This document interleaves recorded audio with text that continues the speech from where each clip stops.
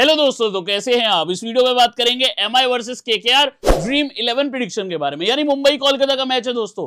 दोनों टीम्स आप देखोगे पिछले मैचेस में एकदम विपरीत सिचुएशन से आ रही है। मुंबई हार के आ रही है, कोलकाता बढ़िया करके आ रही है। और ये मैच भी दोस्तों दोनों टीम्स के लिए बड़ा ही ज़रूरी है। लास्ट ईयर अगर आप देखोगे तो ये टीम का एक मैच हुआ था। वेंकटेश अय्यर ने 104 रन मारे थे। ईशान किशन ने हाफ़ सेंचुरी लेकिन फिर भी मुंबई जीती थी। 104 भी यहाँ पे कर दिया था मुंबई ने पार।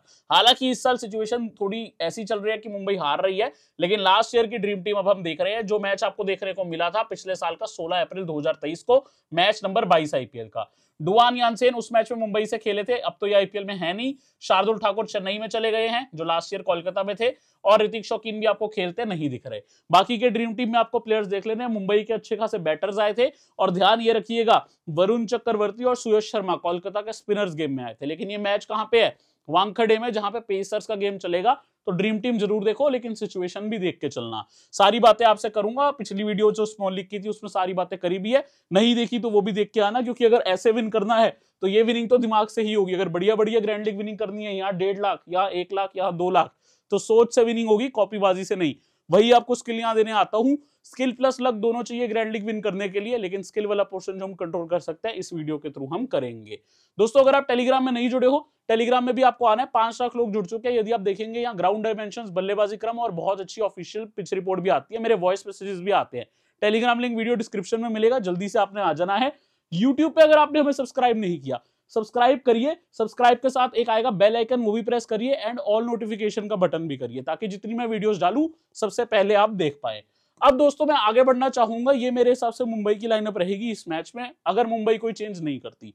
इंपैक्ट बॉलर खेल रहे हैं नुमान तुषारा इंपैक्ट बैटर के तौर पर खेल रहे हैं सूर्य कुमार यादव। लेकिन एक हाई रिस्क टीम ये भी बन सकती है, दोनों को इकट्ठे सीवीसी करना। पहले आप देख लो, ये मेरे हिसाब से मुंबई की लाइनअप है, इस हिसाब से ही मैं जाने वाला हूँ। पेसर्स का गेम बन सकता है, तुषारा, बुमराह कोटजिया तीनों को एक टीम में रखना शायद आपको कुछ फ़ायदा मिल जाए। और यदि मैं अगर बात करूँ कोलकाता की कोलकाता की टीम में एक चेंज दिख रहा है, हो सकता है एक नए बॉलर आपको खेलते दिख जाए, जो अपने पिछले डोमेस्टिक मैच में चार विकेट निकाले थे गुजरात के सामने। बिहार से खेलता लड़का साकिब हुसैन और वार्म अप में बहुत अच्छी ऑर्कस डाला था। कोलकाता के बड़े बड़े प्लेयर्स को आउट किया था। वार्म जो प्रैक्टिस मैच हुआ था फ़र्स्ट डे पे ही मैंने आपको बताया था पहले कोलकाता के मैच में। कितनी विकेट निकाली थी कमेंट करके बता दो, क्योंकि इसको लोग जानते नहीं है। चांसेस हैं कि ये खेल के जाए। रीजन इसका ये है कि भाई एक जो प्लेयर है हर्षित राणा, वो बैंड है आज के मैच से, वो नहीं खेल सकते आज का मैच तो हर्षित राणा आज मिस करेंगे। उनकी जगह में भी पेसर साकिब हुसैन आपको खेलते दिख जाए। या फिर एक और विकल्प है, चेतन सकारिया, अगर टीम खिलाना चाहे बट मुझे लगता है साकिब हुसैन इस मैच में आपको डेब्यू करते दिख सकते हैं आईपीएल 2024 में। ये खिलाड़ी के बारे में नहीं पता तो स्मॉल लीग वीडियो में बहुत अच्छे से समझाया है। वहाँ भी देख के चलना बढ़िया गेंदबाज है। अब दोस्तों, अगर आप देखेंगे, ये आपको कोलकाता की लाइनअप देखने को मिल रही है। बहुत अच्छे, और इनके बारे में ना कोई नहीं बताएगा। तो मैंने पिछली वीडियो में बहुत आपको अच्छे से समझाया, देख के चलना। यही लाइनअप मेरे हिसाब से कोलकाता की रहेगी, ज़्यादा चेंजेस उम्मीद नहीं कर रहा मैं, ठीक है? अब मैं अगर बढ़ू आगे तो ग्रैंड लीग के सीवीसी एक तो सॉल्ट जो कि बहुत अच्छा खेल रहे हैं। नारायण जो कि ऑस्पिन भी करेंगे, बल्लेबाजी भी, हालाँकि बुमराह के सामने आसान नहीं होगा बल्ला चलाना बट ऑस्पिन इनकी काफ़ी इंपॉर्टेंट है। एंड्रे रसल जो कि हार्ड हिटर भी है और बॉलिंग भी करते हैं, बल्ले से मुंबई के सूर्य कुमार यादव, गेंद से जसप्रीत बुमराह, और लास्ट मैच में जिन्होंने 50 मारी थी हेड टू हेड में, ईशान किशन, ठीक है? ये आपके बेस्ट हो सकते हैं सीवीसी अब डिफरेंशियल्स की बात करते हैं। अंग्रीश रघुवंशी जिनको लास्ट मैच में ज़्यादा बल्ले से कुछ करने को मौका नहीं मिला, लेकिन लोग भूल जाते हैं, हम नहीं भूलेंगे, अच्छे ऑप्शन है। वेंकटेश अय्यर जो पिछले हेड टू हेड में शतक मारे थे, रिंकू सिंह जिनको यार वर्ल्ड कप टीम से बाहर कर दिया, और मेरे को लगता है कोलकाता ने इनको इतनी बल्लेबाजी ही नहीं कराई कि ये टीवी पे दिखे भी हमें।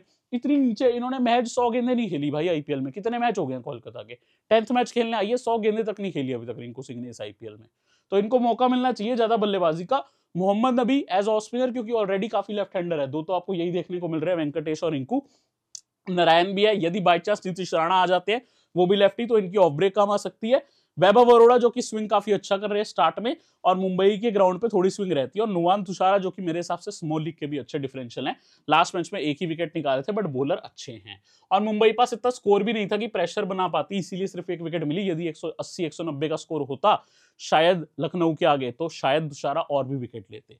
अब आज की कुछ बोल्ड प्रिडिक्शन देखते हैं। पहली prediction Bumrah and Narayan to be की बोलर्स ऑफ़ देयर साइड दोनों बॉलिंग में मुझे लगता है इंपॉर्टेंट काम कर सकते हैं। नारायण लेकिन बल्ले से मुझे लगता है शायद मुंबई की पेस के आगे आउट हो जाएँगे और जल्दी विकेट उनकी जा सकती है। मेरा ये मानना है। रसल और पांड्या एटलीस्ट आपको एक अच्छे फैंटेसी परफॉर्मेंस के हिसाब से पॉइंट देता दिख जाएगा, क्योंकि दोनों ही ऑलराउंडर मीडियम पेस बल्लेबाजी करते हैं अच्छा खासा चांस है पॉइंट दें। और मुंबई के पेसर्स जैसा कि मैंने बताया, नारायण को तंग करेंगे, मुझे लगता है गेम में भी आएँगे। नुमान तुषारा कोटजिया, हार्दिक भी पेस डालते हैं, बाकी बुमराह तो किंग है ही। ठीक है? स्टार्क को स्टार्ट में स्विंग मिलेगी अर्ली और मे बी शायद वो वेंखड़े पे अपना बेस्ट देते दिख जाए। विकेट आएगा या नहीं, कहना मुश्किल है। बट जैसे चौके छक्के वो खा रहे हैं। शायद एकदम स्टार्ट में यहाँ पे ना खाएँ, क्योंकि यहाँ पे स्विंग होगी नहीं गेंद और अगर कंट्रोल में डालते हैं स्टार्क तो वो काफ़ी अच्छा कर सकते हैं। बोल्ट से प्रेरणा ले सकते हैं, जो यहाँ पे बोल्ट ने लेफ़्ट आर्म फास्ट ने बॉलिंग करी। शायद स्टार्क भी अपना दमखम दिखाएँ। ठीक है? अब यहाँ पे दोस्तों आप कुछ मेरी ड्रीम टीम्स देखने वाले हो जो ग्रैंड लीग के लिए रहेंगी। पहला है simple best bowler best batter combination Mumbai के बेस्ट बोलर और बेस्ट मेरे को जो बैटर लगते हैं वो है सूर्या और बॉलर रखते हैं बुमरा उनको मैंने रखा है, साथ में मुंबई की तिकड़ी पेसर्स की रखी है, कोटजिया तुषारा बुमराह को रखा है, स्टाक को भी रखा है। स्टाक को रखा है तो स्टार्ट में स्विंग होगी तो कोई ना कोई ड्रॉप होगा मेन बैटर ईशान किशन इसमें ड्रॉप है।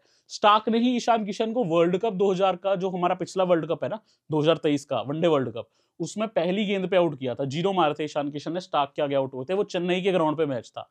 ठीक है, ये तो मुंबई पे है जहाँ और स्विंग होती है तो तंग कर सकते हैं स्टाक। बाकी अच्छे खासे बैटर्स रखे कोई दिक्कत नहीं है, रिंकू सिंह भी इसमें डिफरेंशियल का काम करेंगे। अब ये कॉम्बिनेशन सूर्य और रोहित को मैंने इसमें बैक किया है सीवीसी ईशान किशन को रखा ज़रूर है, ताकि ये कैचेस टपिंग से जितने पॉइंट देने दे दे। उसके बाद ये दोनों से सारा टारगेट मुझे चेस चाहिए, जो मुंबई के ग्राउंड पे दोनों कर भी सकते हैं। मुंबई के ही सारे गेंदबाज रखे हैं, इसमें मैंने हार्दिक को नहीं रखा, क्योंकि मैं भाई टॉप थ्री से चेस चाह रहा हूँ, हार्दिक की बैटिंग तो मैंने इसमें इंक्लूड ही नहीं करी। अगर आपको लगता है बॉलिंग से आउट कर जाएँगे तो आप रख सकते हो। बाकी मैंने यहाँ पे नारायण को, रसल को, अय्यर को और सॉल्ट को रखा है। ताकि रन करे। ईशान किशन एक लेफ़्ट हैंडर है।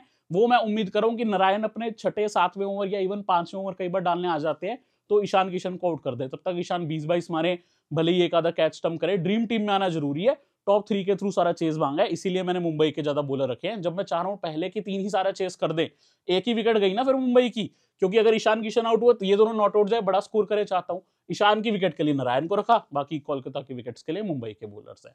अब ये combination the M I pace again M I के देख रहे हो, ये तीनों बॉलर्स को काफ़ी बैक करो। अगर मुंबई की बॉलिंग आ गई ना दोस्तों, पहले तो बुमरा कोटजिया, तुषारा पे स्पेशल ध्यान रखना। तीनों ही आपके लिए एक टीम में अच्छे बन सकते हैं। यहाँ पे भी मैंने वही किया। वाइस कैप्टन कोटजिया और हार्दिक भी तो पेस डालते हैं। कैप्टनसी दे दी उनको विद द बैट भी काम आते हैं। द एम आई पेस इसका नाम रखा है but overall pace bowling team है ये, क्योंकि भाई स्टाक भी है। स्टाक है तो भाई मैंने यहाँ पे रोहित पे ड्रॉप किया। ईशान किशन, सूर्य और तिलक नेक्स्ट तीन बल्लेबाज है। मतलब कि अगर आप देखोगे, ईशान और रोहित ओपनिंग करेंगे, ईशान की विकेट के लिए यहाँ पे इनफैक्ट रोहित की विकेट के लिए स्टाक को रखा है, ईशान, सूर्य और तिलक को रखा है स्कोरिंग के लिए। यदि आपको ईशान की जगह इसमें रोहित करने हैं, आप ये भी चीज़ कर सकते हो, लेकिन रोहित भी लेफ़्ट आर्म के आगे स्ट्रगल किए हैं तो मैंने उनके आगे स्टाक को एक वेपन माना है। बाकी अगर आप देखोगे, मुंबई की पेस पे काफ़ी गेम है, हार्दिक और कोटजिया दोनों पेसर्स हैं, साथ में बुमराह और तुषारा भी। अब आप दोस्तों देख रहे हो एक्सचेंज ट्वेंटी टू जहाँ पे आपको खेलना चाहिए, क्योंकि ये नंबर वन एप्लीकेशन आप अपने प्लेयर्स को बाय सेल कर सकते हो। आपको लगता है कोई प्लेयर परफॉर्म करेगा, उसका शेयर बाय कर लिया।